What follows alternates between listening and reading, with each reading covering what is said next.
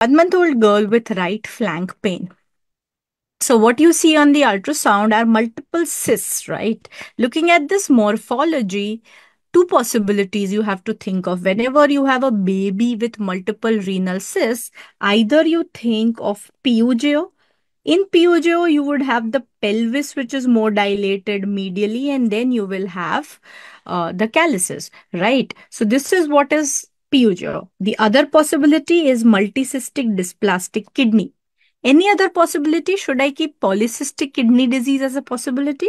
So, PCKD is not a possibility because this at this age it would be autosomal recessive and autosomal recessive are what are why not MCKD? It is one possibility, right? Not polycystic kidney disease because microcysts milenge. You will not see, you'll see a diffuse renomegaly. You will not see these big cysts. So two possibilities, PUJO versus multicystic dysplastic kidney.